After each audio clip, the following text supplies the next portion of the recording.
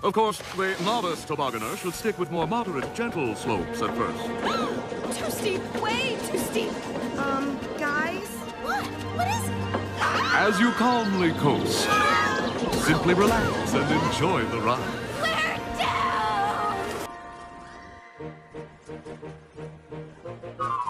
When riding a toboggan, it is important to always face forward. And for your own safety, you must remain seated at all times.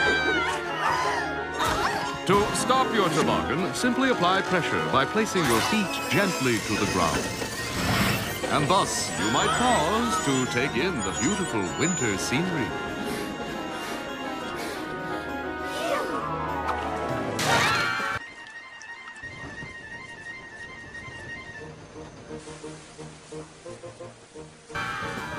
Toboggans are not designed for extreme winter sporting. But for the rider who takes it nice and slow, tobogganing is sure to bring nothing but smiles. Congratulations!